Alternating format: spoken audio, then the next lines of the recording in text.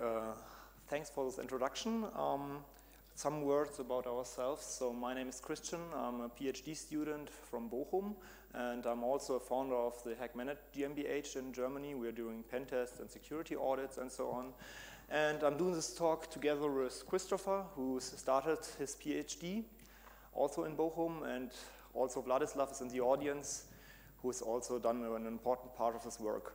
So, as you might guess, this talk is about XXE and uh, DTDs and so on. So, we're talking about XML.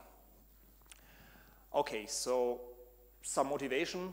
XML, you can parse it. You have to parse it if you have to work with it. So, what could prob probably go wrong? It's just XML. Um, as we might have seen in the last years, there were a lot of problems when parsing XML. So problems are known since 2002, as far as I know, but even in 2016 we can still find vulnerabilities. Most, the most famous one maybe is uh, XXE, so XML External Entity Attack, which allows you to read some system files you shouldn't be able to. And uh, we asked ourselves, so what's the problem behind it? So why do we still, 14 years after we've discovered all these problems, why do we still have to handle with them? So what's the reason for this? And in this talk, we try to find an answer for this. Um, first, I will give you an introduction to attacks, which is maybe most useful for pen testers. Uh, because if you're uh, trying to, to work or test some XML application, you should really test for those attacks. Um, and the second part given by Christopher is an evaluation of uh, XML parsers. So he took a vast number of parsers and looked if they are vulnerable in their default configuration. And I can say that the results are really impressive. Okay, so let's go back to the foundations. Um, XML has some really nice uh, feature which enables all the attacks I will present. Um, it's named document type definition. So document type definition is basically a kind of grammar uh, for XML. So you can describe, for example, there is a document, it has some child elements, some sub-elements, you can describe the data that is contained in it, and so on. So it's a grammar. But it also has some features. Um, to motivate these features, just suppose you own a nice car and you have a garage and you are managing it with some XML file. So this is quite easy. Okay, we have a simple XML file and we have our content in it. Um, however, if you are like most people, you have a lot of cars. And um, if you have so many cars, you somehow need to manage them a little bit more efficient.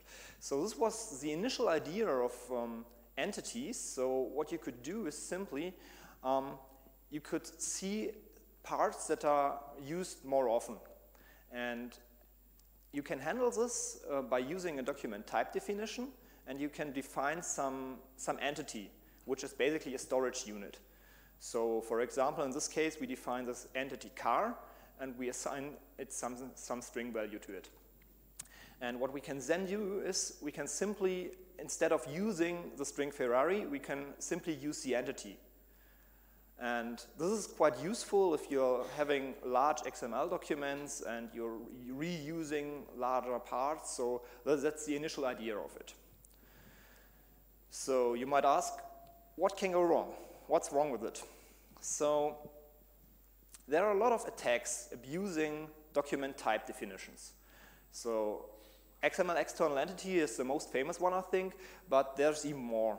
So the topic of this uh, talk is just XXE, but there are a lot of more attacks, and they are commonly referred as XXE, although they are sometimes denial of service or server-side request forgery. So there's a lot of things you can do with document type definitions. So let's first have a look at denial of service. So this attack is known since more than a decade of years. Um, and it's famous for its name, the billion laugh attack. Um, you might guess an idea why it's so called when we come to it. So let's suppose we have an XML document and it defines multiple entities. And the trick here is that they are recursively defined and reference each other. So what happens if, is if you dereference the entity C, it will be looked up into the document type definition, it is found, and it's replaced by its value. But in comparison to the previous example, it's not just a simple string, there are more entities defined. So the parser will go on, it will find a new entity B, it will be replaced by the uh, entity value, and so on and so forth. And finally, we receive at the, at the last entity, and it's replaced by some string. So this is the basic concept idea of the billion laugh attack.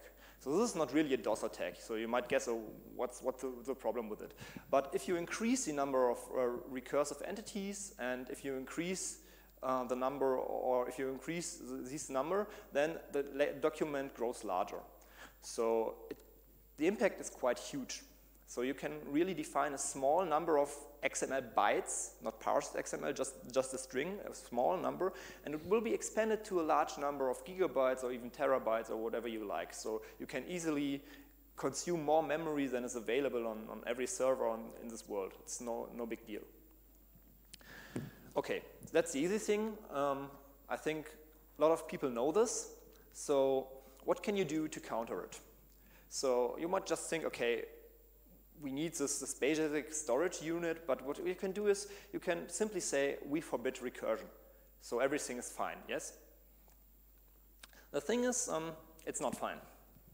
There is an, a variant of this attack named as quadratic blowup, which simply does the following. It um, does only define a single entity, or two or three, or whatever you like, so no recursion. But the string that is uh, defined is very long. So for example, take as an example, it's one megabyte. And what you can now do is um, you can refer it multiple times. And each time it's replaced by the original entity string. So if the original entity string is one megabyte, you refer it 100 times, you have 100 megabyte. And uh, the original XML document is, is quite, uh, quite small in comparison to the expanded one. So this is one feature.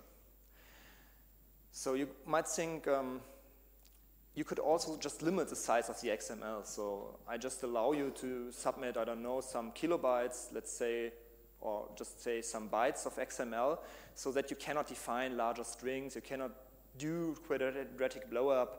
Um, but this also does not, uh, does not uh, prevent all attacks.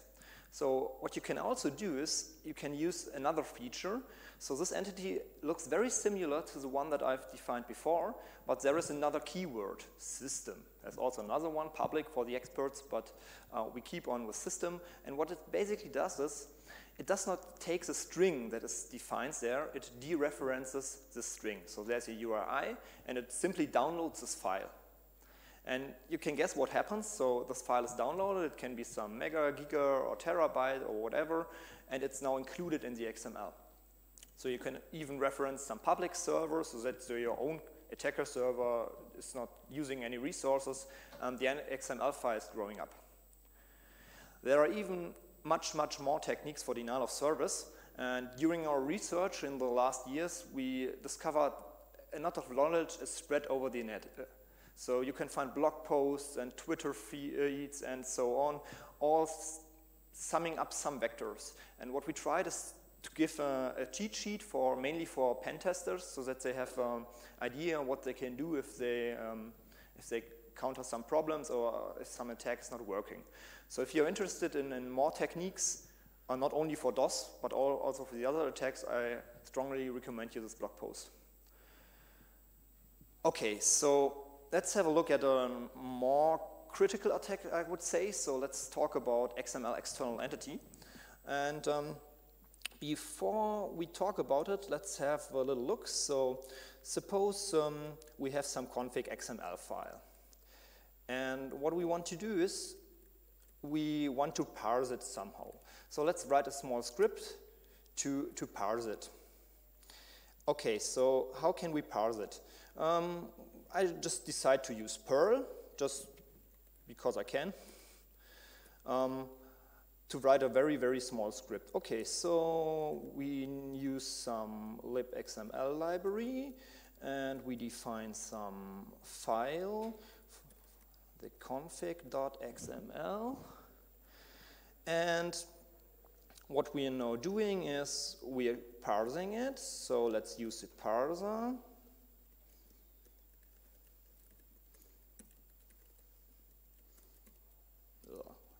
it's a hash. Okay. And what we now do is simply we print it. So we print the value, so hello over uh, should be printed. So DOM, go to document element, go to text content. So there is an error. I think I think that could work. So let's try it. And as you can see here, we simply parse the string. Okay, so this is quite simple, this is no attack. Now we're editing the XML file, and what we basically do is we add some doc type. So doc type, and we define some entity, let's call it file, and let's say it's a, an external entity by the keyword system, and let's use, because most people use it, pass wd. Okay, then we have to close it. I should, the syntax should be right. And now we have to append it. Okay, so let's use this file. Okay, I'm fine. And let's use Perl to parse it. And what happens is, instead of writing the, the, the, the bytes that I've printed, basically, it's dereferenced and we see the whole content of the etc, etc passwd file. Okay, so let's have a look, just a short look at the, par at the parser again. So all I did is simply, I want to pass some XML file. And if I'm a developer, that's, that's the reason I go. So I'm just using some library I set up and parse it. And this is not secure because you, are, you, you can do a lot of things with it. Okay, so let's go back to the presentation. Um, it, now you might think this is very uncommon. So um, what, let's suppose about a more real example. So suppose there's a server which offers you some nice service. So it offers you uh, an image conversation, you can upload some SVG and you can download some PNG, for example. So if you upload this um, XML file, which is an SVG, you simply get some image. Okay, that's nice. And if you do the tricks that I've uh, used in the parser right uh, in the live demo, um, you can just simply use your uh, your uh, code, your vector, you uh, submit it, and you will get an image containing the data of the file. So this is basically bad because it's a server. The, you can you can read the files on the server. This is what we call critical when we do something in a pen test. Okay, so this is what, what all people know about XXE, or most people know about it. So you might think, well, that's quite easy, so what's the thing? Um, the thing is, let's try uh, something different. So what happens if we don't want to read this um, I have to edit the config file. If we don't want to read the passwd file, but another file, so let's read fs tab. So another file should be, shouldn't be a big thing. I only need to change the parse. So let's use Perl again. And whoa, something strange happens. So we have a parser error, and we do not get the content of the file. It's not displayed. Well, this is a huge difference. And when, you, when you're starting with XXE, you think, well, it's always possible. But in fact, it's more complicated. Okay, so it works, for example, with passwd, but it does not work with fstab. So the thing is, the file etcfstab looks, for example, like this. And maybe, maybe you see something in it. So what you can see is there are some parts which look like XML. But basically, they are not valid XML. And because they are not valid, the parser will give an error and say, well, I cannot handle this. It's not XML. I expect XML, and I cannot do anything with it.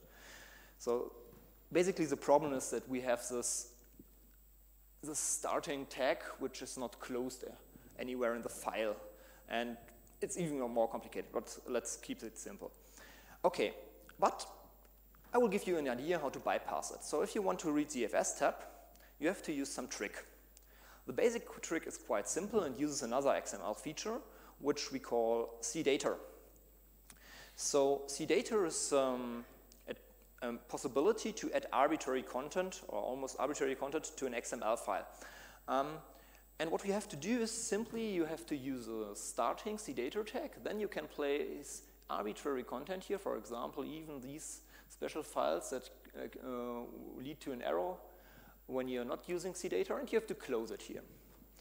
Okay, so if you want to use it, you could think about doing it as follows. So you want to read the etcfs tab file, and you define some start and some end tag basically to define the CDATA start and the CDATA end. And the idea is now to put all three together so that you have a valid XML. Okay, that is pretty nice because if it's parsed, you will get a data and the content of the FS tab. It would be quite nice, but as I told you, it's just the idea. In real life, it's more complicated. So it's not, for example, allowed by the specification to include an external entity in combination with internal entities and to do uh, to define this entity like here. But, but the idea, keep the idea in mind, we use CDATA. So to do a real exploit, you have to do a little bit more.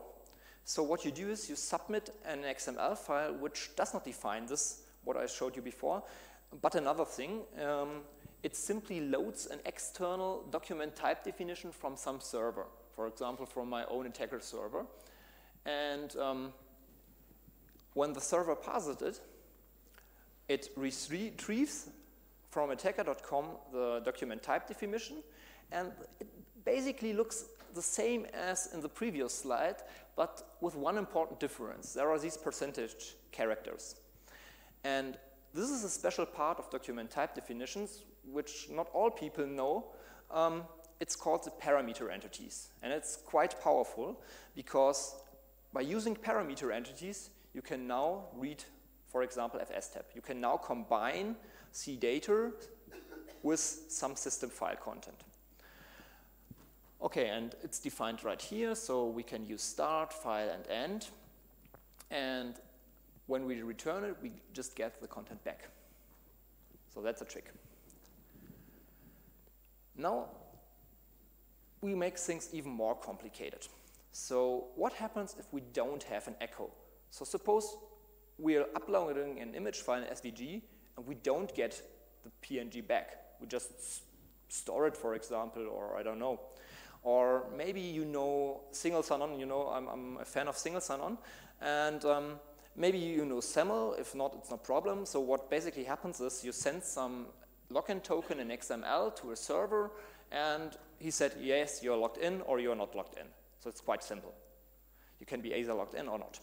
So this scenario is somehow comparable to, for example, blind SQL injection where you don't get feedback. And it's also known by the name out-of-band attacks. Um, it's still possible to exploit it. It's ugly, but it's possible. So I first give you the idea how to do this. The basic idea is um, you will load the content of a file as before, and now you have to somehow send it to your server as a get parameter. So this is what you're trying to do. Load some content and send it back to the server. Okay, so it's not, it's not working because, oh, I'm sorry, once back. It's not working because the same, uh, because of the same problem, external entities are not allowed in this case. So we have again to deal with parameter entities. Um, basically, it looks very similar to the attack before. We send an XML and we just refer to some um, external document type definition. And what we now do is um, the external type definition looks a little bit different. So first we use a parameter entity to load some uh, content file and you might see that I'm not using uh, FSTab or PassVD, but using image size. I will come to this back later.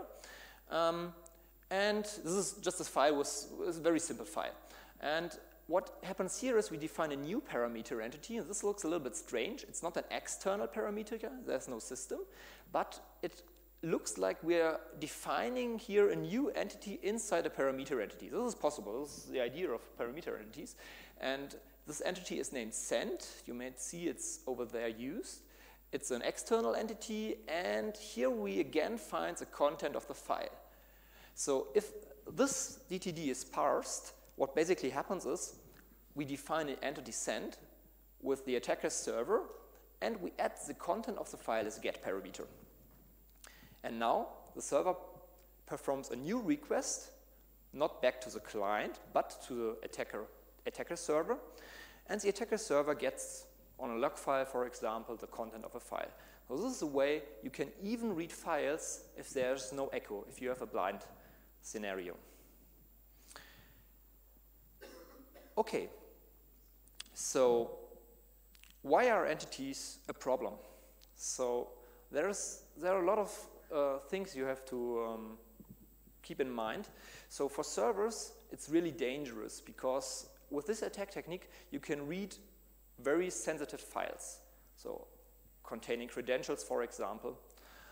It's also possible to do some URL invocation. So for example, if there are services running only on localhost, which are not accessible from another service, on the server you might send a GET request to do some things. Maybe you can shut down it, it's the toy example, of course, or you can do other stuff. And there's even more. You cannot, it's not only restricted to the current server. What you can also do is server-to-server -server communication. So you can contact other servers and, for example, try to detect what network is used, are there open ports, and so on. So you can do a lot of things. And what's often overlooked, it's not only a problem for servers. So on the client side, it's the same problem. If you have some client application parsing XML, for example, you're reading a config file, you have written some, some tool to store, serialize the content, and then the same problems appear. So you can basically send a message to the client and you will get the content of its, its notebook or whatever. Okay, so there are even more attack techniques. So this is a quite, quite uh, long topic. You have a lot of different techniques. So besides parameter entities, there is also X-include, which is very similar to DTD. It's, it's uh, um, basically the same idea. And while parsing XML, you should also have a look at XSLT. So we've also already heard something about XSLT here at OWASP.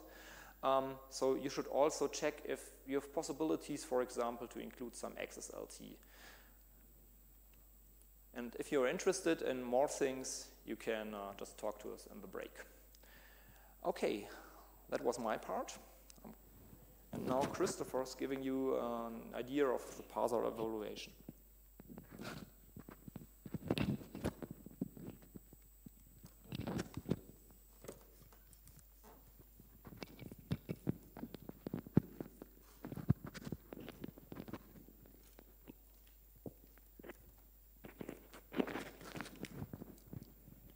So, hello, can you hear me in the last row? Okay, great.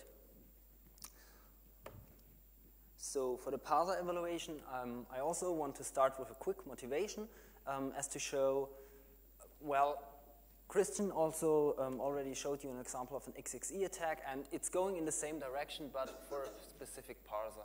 So I'm choosing Piccolo, it's a Java parser, and as you see here, um, the first point is um, usually you use a factory in Java, but here you can't do it. Well, you can do it, but if you blackout, um, if you if you use it with a uh, SAX parser factory, you cannot harden the parser, and so therefore, um, right? So here I showed you this we use a factory and we use the get feature um, and retrieve external general entities. So it's a security relevant DTD feature to disable external general entities. And then we set the feature to false and then we check um, what's the output, and the output is still true. So this is just to demonstrate um, that it's not, it's not working with the factory. Therefore, we have to um, use Piccolo directly. So here we instantiate it, and we assign a default handler, and then we parse it. This is quite similar to, what, to the example Christian just uh, showed you. And here we parse a file, standard XML with a data 4, and then we print it out, and as you saw before, the output is of course 4. So now if we um, do, um, well, a malicious XML file, here the XXE attack, we already discussed it, so you get the content of the files, which are referenced here. And now we're coming to the, like, the new part. You're a developer and you want to mitigate these attacks. So you apply a feature, um, set feature external entities to false, and this attack is mitigated. However, now you're also still vulnerable to denial of service attacks and to URL invocation or server-side request forgery attacks. And what we did in this evaluation is we investigated these features in really um, thorough manner and checked what are the implications and which features do you have to apply to be secure with your parser. So this is like um, the, contribution of this part. So first, the test setup. We tested 28 different parsers in Ruby, .NET, Python, uh, Perl, Java, and what did I forget? PHP. And we tested for all these attacks, which we already discussed.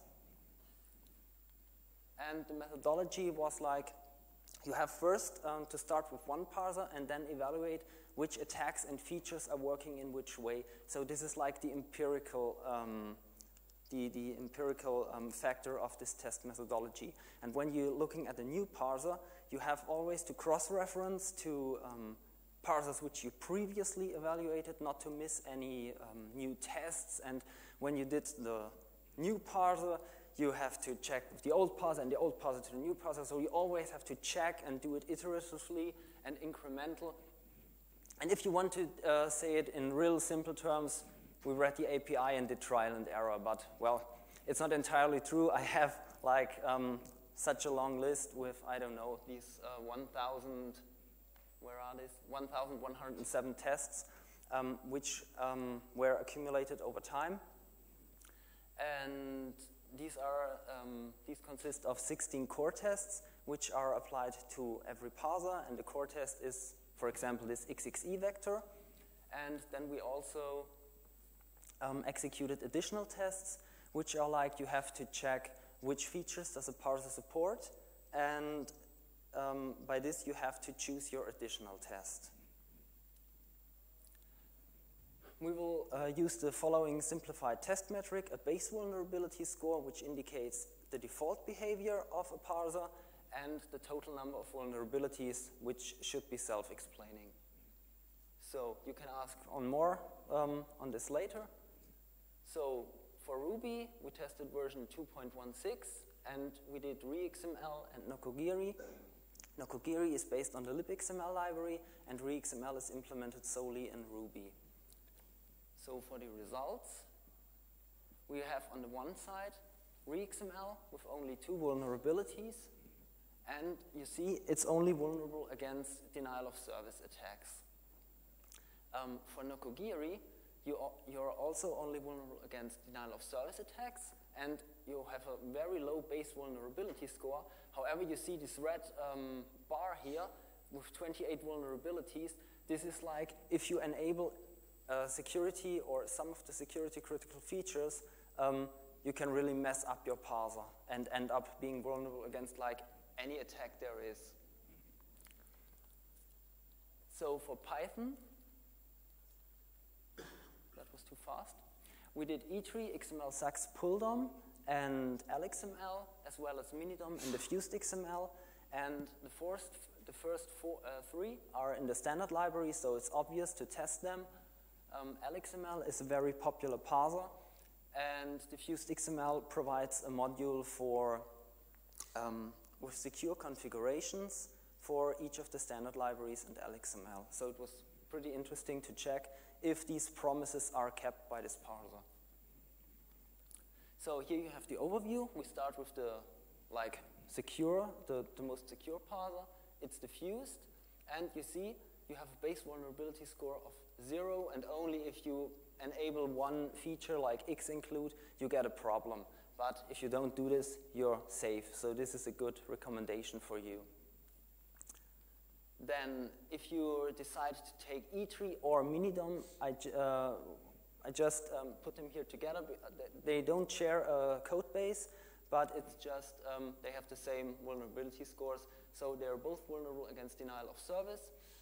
And you see you don't have any like features which you can mess up, and here's only the X-include features which could provide could make any problems.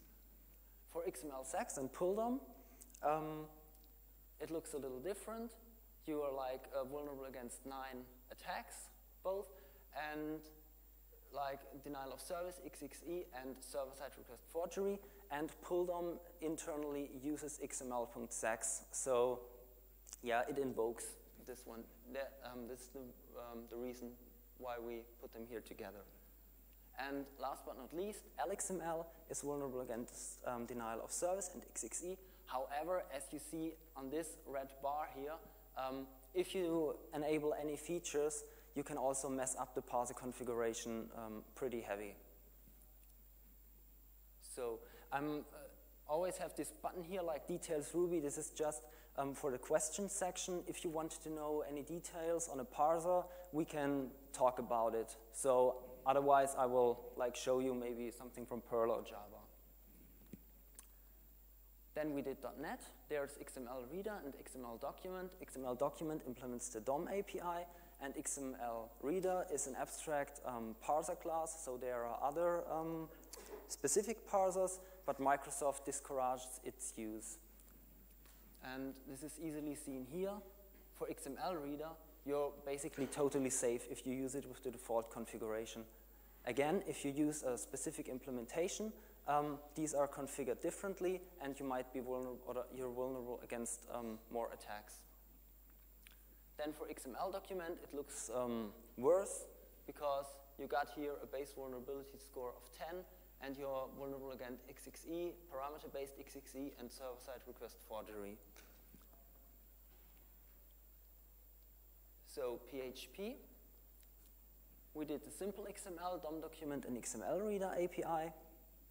And yeah, it's like they are offering tree access like um, uh, to, to the document, and the other one is a pull parser, starting with XML reader.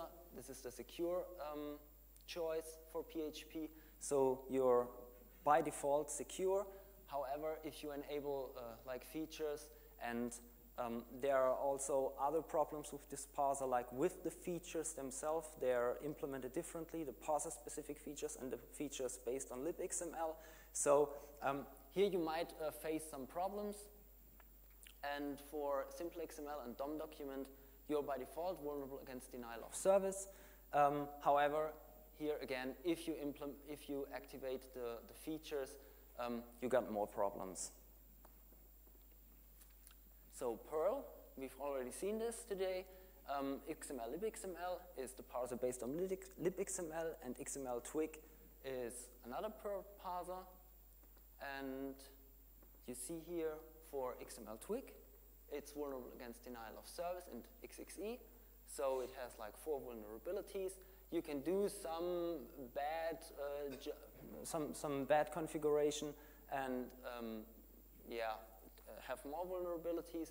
For libxml, you have a worse default configuration with like denial of service, XXE, parameter-based XXE, and server-side request forgery. And you can also set the features in a very bad way. So, and for Java, we did Xerces, Crimson, Piccolo, Oracle, Sax, and DOM. And the good thing here is they're all equally bad by default. Um, so we only have to look at one chart. So they are all um, yeah, against denial of service, XXE, SSRF. And yeah, if you set features, you can do it even worse in Xerces. However, the good part is um, there are also countermeasures available for Java, so you can mitigate all of these attacks. So here's a summary of the evaluation. If you look at the first um, like column, you see there are a lot of yeses, yes, yes, yes, yes, yes. So it's about 60%. And the stars indicate that there are no countermeasures available. So you use this parser. However, you have to live with the fact that you're vulnerable to denial of service. For the second column, the XXE attack, you're at around 50%. And yeah, it's, also, it's, it's still pretty bad, but well, that's life.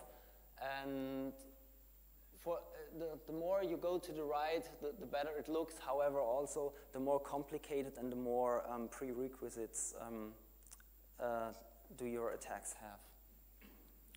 So here's um, an evaluation results uh, from my two colleagues. And here you see basically these results reflected, oops, um, reflected um, for the XXE attack. So you see here there are also a lot of vulnerabilities, like 10 out of the total service providers for um, uh, single sign-on, uh, sorry, yeah, single sign-on um, providers. So if you got questions to this um, part, you can talk directly um, to Vladislav and Christian. So what should you uh, take away from this presentation? Um, of course, um, you should uh, look at this table and check out which parser uh, is the most secure by default, so you don't have to do anything um, if possible.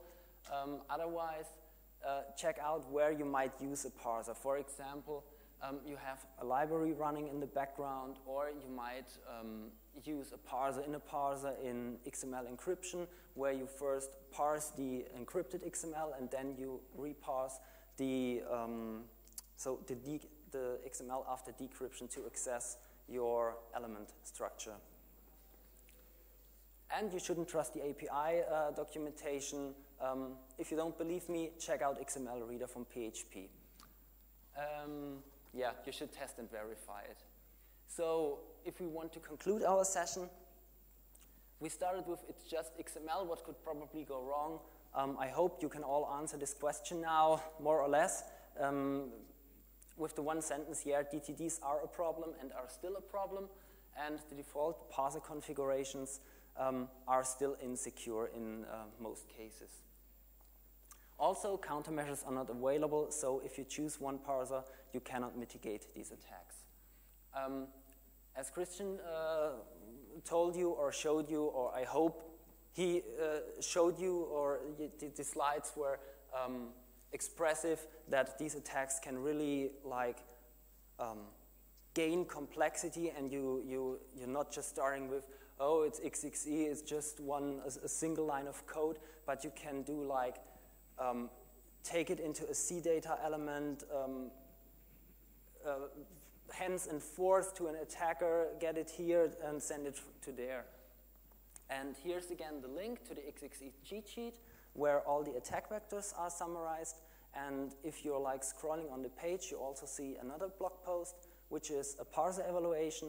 There are these results uh, summarized, and there are also links to the PDFs and the code base from this project. So there are all the test files and all the parser results in way more detail than we can present it like here. So, and this concludes our session, and we're now open for your questions.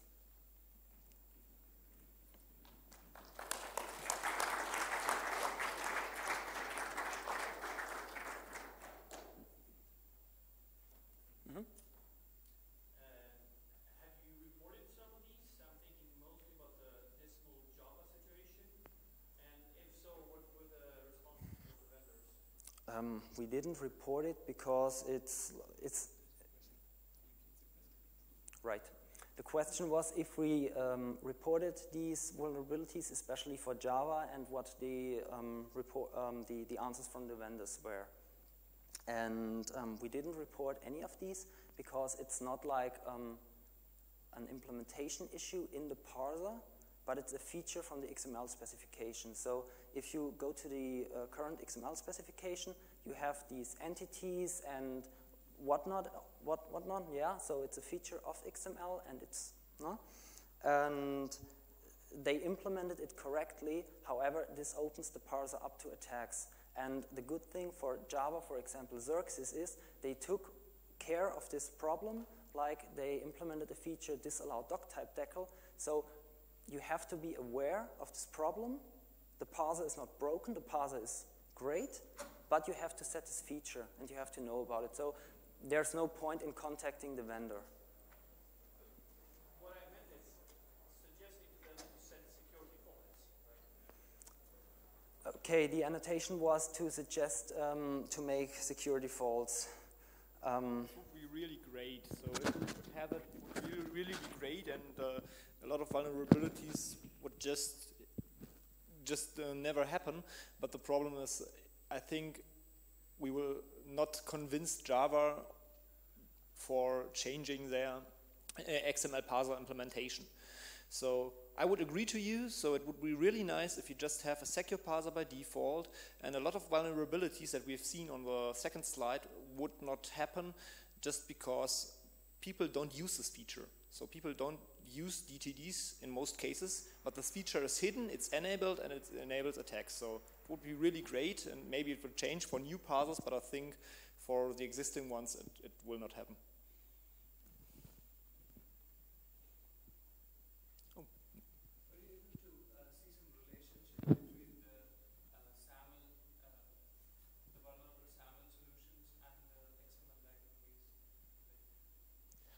Actually, um, in this, um, the question is if there is a relation between uh, the SAML libraries and um, the XXE attacks. The problem is it was a black box test, so we just tested a website and we do not know which library is actually used, so we couldn't gather which XML parser is used.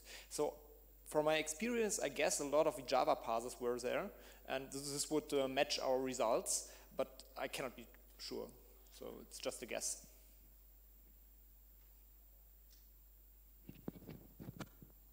Okay, so if there are no more questions, thanks for the attendance.